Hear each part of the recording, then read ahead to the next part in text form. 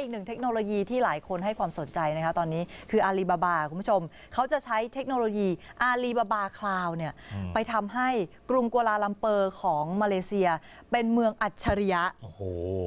แก้ปัญหาอย่างแรกเลยแก้ปัญหารถติดอ๋อฟังแล้วกรุงเทพอยากได้มากเลยนะคะ เทคโนโลยีนี้นะคะ โดยโครงการนี้ค่ะก็คือมาเลเซีย City Brain ถูกสร้างขึ้นเพื่อพัฒนาให้กลายเป็นเมืองดิจิทัลเมืองใหญ่ในอาเซียน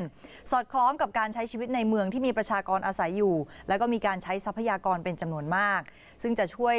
ลดต้นทุนในการจัดการ แล้วก็เป็นโอกาสที่ประชาชนเนี่ยจะใช้เทคโนโลยีได้อย่างทั่วถึงด้วยนะคะ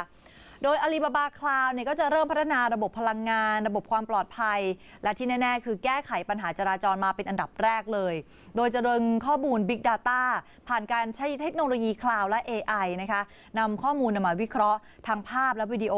ผ่านกล้องที่ถูกติดตั้งกระจายไว้ทั่วเมือง มีข้อมูล GPS และระบบสัญญาณไฟจราจร เพื่อเข้าควบคุมการจราจรแบบเรียลไทม์ซึ่งก็จะทำให้เจ้าหน้าที่เนี่ยสามารถระบายรถในเส้นทางที่มีรถติดได้อย่างรวดเร็ว แล้วก็ยังสามารถควบคุมความเร็วของผู้ใช้รถกำหนดเส้นทางให้กับผู้ขับขี่ได้ด้วย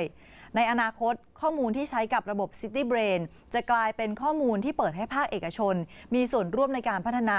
มาเลเซีย City Brain ให้ฉลาดขึ้นอีกด้วยนะคะอื้อหือโอ้อยากให้ประสบความสำเร็จมาก ๆ เลย แล้วนำเทคโนโลยีนี้มาใช้กับกรุงเทพนะคะ โอ้ มาเลเซียก็เป็นประเทศหนึ่งที่รถติดพอสมควรใช่ขึ้นนะชื่อฮะเหมือนกันนะคะ ครับ